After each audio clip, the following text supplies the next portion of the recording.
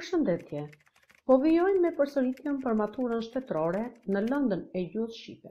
Tema, teksti rrëfyes. Çështjet që do trajtojmë janë: A. Përdorimi i tekstit rrëfyes dhe elementet e tij. B. Struktura e tekstit rrëfyes dhe marrëdhëniet që krijon. C. Karakteristika e përgjithshme e tekstit rrëfyes dhe format e tij. D. Elementet mbizotërues të tekstit rrëfyes. E. Karakteristikat e përgjithshme dhe veçoritë gjuhësore. Fillojmë me çështjen e parë. Teksti rrëfyes, ose ndryshe narrativ, përdoret në letërsi dhe në kontekstin joletrar. Ka pasur diskutime të shumta ndërmjet tekstit letrar dhe joletrar. Dallimi mbetet kundërshtia e vetme ndërmjet elementeve mbizotruese. Teksti letrar bazohet mbi trillimin, kurse teksti joletrar bazohet mbi faktin. Shkrimtarët dhe autorët nuk kanë qëllime praktike. Në veprën e tyre ata shprehin mënyrën e veçantë të parit të gjërave, duke vlerësuar në shkallën më të lartë formën, pra duke përdorur burimet e gjuhës shprehëse. Teksti rrëfyes dallohet për vendosjen e elementeve kohore dhe hapësinore. Ato kanë një marrëdhënie të caktuar. Teksti rrëfyes ka një strukturë që krijon marrëdhënie varësie logjike të cilat janë kryesisht marrëdhënie te shkaku dhe te veprimi. pra pasojës. Struktura mund të krijohet edhe nga renditja e veprimeve dhe ngjarjeve që kanë lidhje me njëra tjetrën.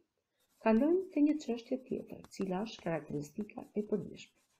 Karakteristika e përgjithshme e tekstit rrëfyes është perspektiva tregimtare. Në jetën e përditshme ne dallojmë lloje të ndryshme të tekstit rrëfyes, si kronika, reportazhi. Format e tekstit rrëfyes janë letrar e jo letrar. Format e tekstit rrëfyes letrar janë format elementare dhe format e përbëra. Te format elementare bëjnë pjesë një përrallë, fabul e tjerë. Te format e përbëra bëjnë pjesë tregim, novelë, roman e tjerë. Tekstin joletrar e kemi subjektiv dhe objektiv. Në tekstin joletrar subjektiv bëjnë pjesë biografi, autobiografi, ditar, letër personale. Në tekstin joletrar objektiv bëjnë pjesë kronikë, lajmet në radio e në televizor. Që një tekst të jetë rrëfyes, duhet që në strukturën e tij të përmbajë këto elemente mbizotëruese, të cilat janë pyetje të tilla si, Kush? Personazhi apo personazhet kryesorë të ngjarjes? Çfarë? Veprimet që kryen, ai, ata. Ku? Vendi ku ndodh veprimi. Kur? Koha kur zhvillohet ngjarja, veprimi. Pse? Cilat motive ose qëllime kanë personazhet protagonistë të ngjarjes? Kalojmë te karakteristikat dalluese të përgjithshme për tekstin rrëfyes, të cilat janë, a.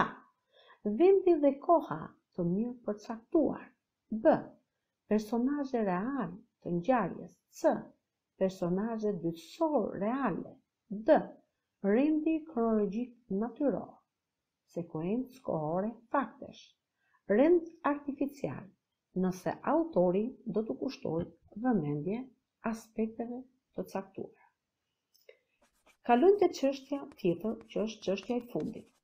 Teksti rrëfyes dallohet edhe nga ana gjuhësore, i cili karakterizohet nga a.